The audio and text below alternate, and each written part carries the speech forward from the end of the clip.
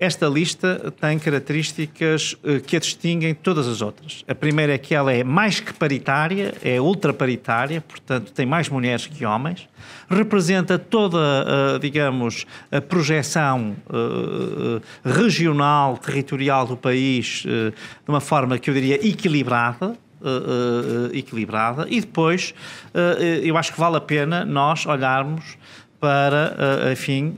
alguns dos nomes cimeiros. Eu começava naturalmente pelo número 2, que está aqui ao meu lado, Ana Lídia Pereira, que representa claramente uma renovação da lista eh, representa a juventude até um certo arrojo e, por outro lado, é alguém que tem uma grande experiência europeia, preside à juventude PPE eh, eh, e, portanto, à maior organização política de juventude europeia, tem experiência do Banco Europeu de Investimentos, esteve no Colégio da Europa, é licenciada aqui em Coimbra, portanto, trabalha e trabalhou em Bruxelas também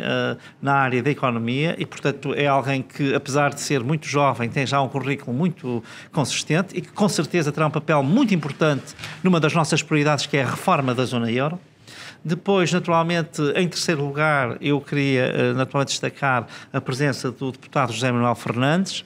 que, como sabem, é conhecido no Parlamento Europeu pelo Mr. Budget, porque é de longe o deputado mais relevante em matéria orçamental de todo o Parlamento Europeu e por isso não é por acaso que ele aparece no terceiro lugar da lista, eh, eh, porque evidentemente ele representa um grande ativo para Portugal, isso pode ser confirmado por todo e qualquer partido. Para além disso, tem também um importante papel na área do desenvolvimento regional e, portanto, pelo menos estas, nestas duas áreas tem-se distinguido muito. Em quarto lugar, temos Maria da Graça Carvalho, que já foi deputada noutra legislatura, trabalha atualmente na Comissão em Bruxelas e, como sabem, eu penso que vai permitir, em primeiro lugar, continuar a linha de inovação e ciência que o Comissário Moedas nos deu,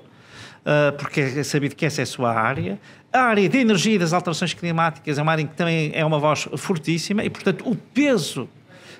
do PSD no Parlamento Europeu, com certeza que fica aqui muito reforçado. Depois temos aqui uma aposta muito importante que é Álvaro Amaro,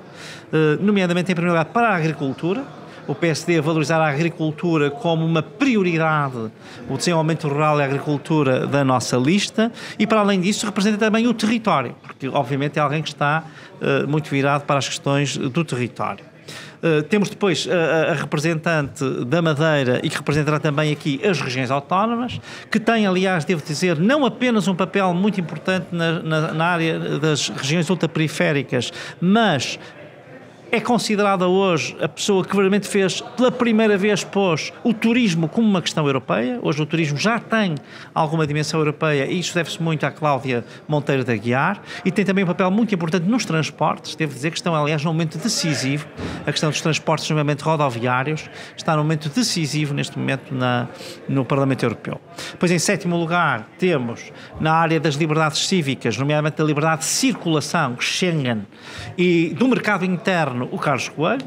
que é, enfim, como todos sabem, também prestigiadíssimo e é conhecido essencialmente pelo seu conhecimento na área Schengen. E depois teremos no oitavo lugar a Ana Miguel,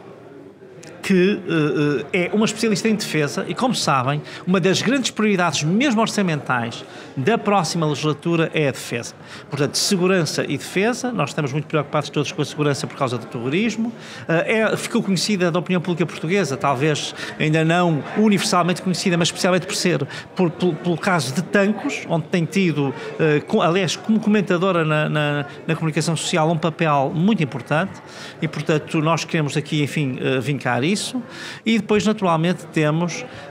a Sónia Ramos, que eh, está em nono lugar e que representa o pilar social, muito ligado às questões da segurança social. E, finalmente, para as questões que eu diria mais de regulação e jurídicas, o nosso candidato que vem de Leiria,